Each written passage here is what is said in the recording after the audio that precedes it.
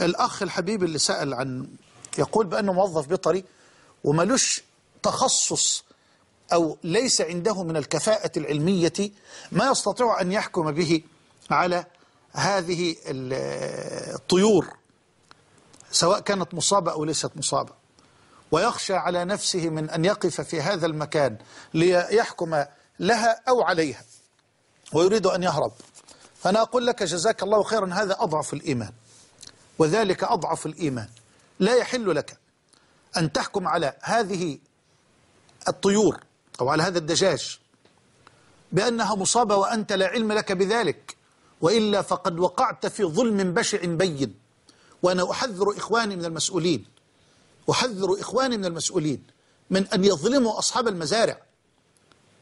بهذه الدعاوى أنا لا أخالف أبدا إن كانت دجاجة مصابة بمرض أيا كان هذا المرض لا حرج على الإطلاق.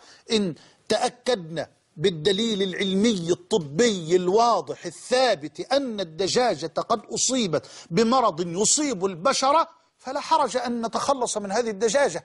لا حرج بل الواجب أن نتخلص منها. أما أن نعدم قطيعا من الدجاج وأن نعدم مزارع كاملة لا إصابة فيها بل ترى الدجاج أمامك يتحرك قد يصعب عليك أنت أن تمسك أو أن تمسك بدجاجة لتذبحها أو لتتعرف عليها.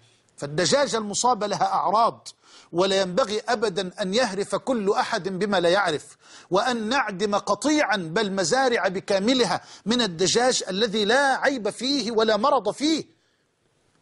أخشى ما أخشاه أخشى ما أخشاه. أن نفسد أموالنا بأيدينا وأن نخرب بيوتنا بأيدينا. لكن لا حرج. أرجو أن يكون الكلام واضحا. إن تيقنا أن دجاجة قد أصيبت بمرض ما يؤدي هذا المرض إلى ضرر المسلمين أو البشر. فواجب علينا أن نتخلص من هذه الدجاجة المريضة المصابة. أما أن نعدم مزارع بأسرها وأقسم لي بالله وأكد لي إخوة متخصصون أن هذه المزارع لا شيء فيها ولا مرض فيها ولا عدوى فيها. فهذا حرام أيضا. هذا حرام أيضا. وأشد على أيدي كل موظف. يا أخي اتق الله اتق الله. يا أخي أنت ستسأل بين يدي الله تبارك وتعالى ولن يسأل من كلفك بهذا.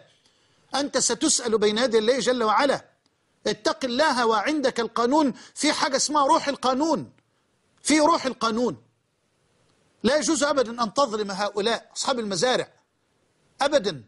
وهؤلاء التجار تجار الجملة. راجل جيب عربية يرزق بها. وما فيش فيها أي حرج ولا ضرر.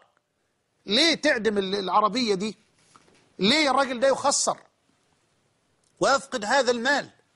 ليه محلات تغلق؟ ليه؟ ليه؟ ليه؟ إلى آخره.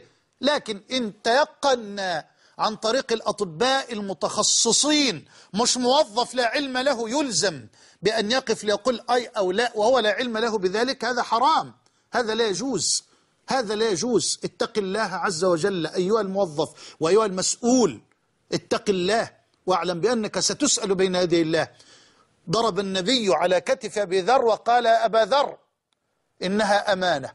الولاية دي أمانة. المسؤولية اللي انت فيها أمانة. انت موظف أيا كانت وظيفتك أنت مؤتمن. اتق إنها أمانة. وإنها يوم القيامة خزي وندامة.